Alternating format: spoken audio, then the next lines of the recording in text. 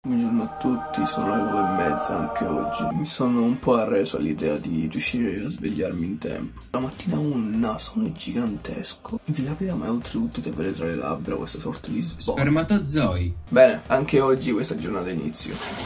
Mi siedo al PC per rilassarmi un po' prima di lavorare e trovo Rocco Siffredi nella home di YouTube. What? È deciso, mi ci fiondo. Io lo attappo i buchi, li attappo i buchi, non li faccio, li attappo. No, non mi sembra che te. Sì, sì, amore, li attappo, te lo assicuro, non li faccio i buchi. Abbiamo capito.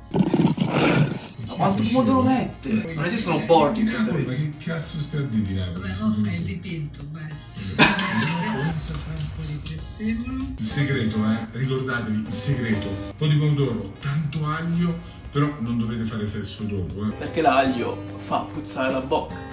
Quindi se ci si bacia, poi. No, no, no, no, no, no, no. Questo diventa una marinara vera. Col prezzemolo. Origano. Guarda, eh. Stiamo vedendo. Cerchiamo di capire. Amore, non fare tanto quella che sa fare le pizze, che sei ungherese. E che vuol dire?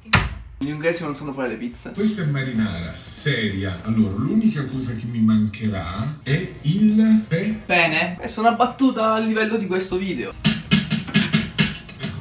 Ma perché sei attaccato? Perché? Perché non gli hai messo la farina, forse, Non è colpa mia, sotto. c'erano i buchi, te l'assicuro. Ci hai messo una vita prima di infornarla, forse. Perché l'hai lasciata attaccata sopra troppo. Esatto, per troppo tempo. Rocco, Rocco, avessi il cervello grande quanto il tuo cazzo. Guardare il video di Rocco mi ha fatto venire un certo languorino, ma vorrei evitare di mostrarvi le immagini vantandomi del mio pranzo, sapendo quanto a voi morti di fame possa fare gola, soprattutto in questo periodo in cui non riuscite nemmeno a trovare il lievito madre al supermercato. Ma eccovele ugualmente.